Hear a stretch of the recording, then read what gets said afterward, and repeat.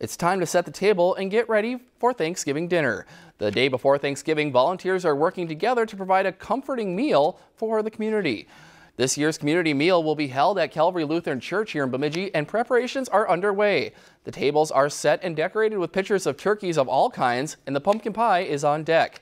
Food will be served to those who attend that are in need or to those who want to spend the day with others. We started um, putting together the to-go trays. So we put all the paper products, the um, things that did not need to be refrigerated or heated on the trays for the people that are getting um, trays delivered to them, meals delivered to them that are homebound.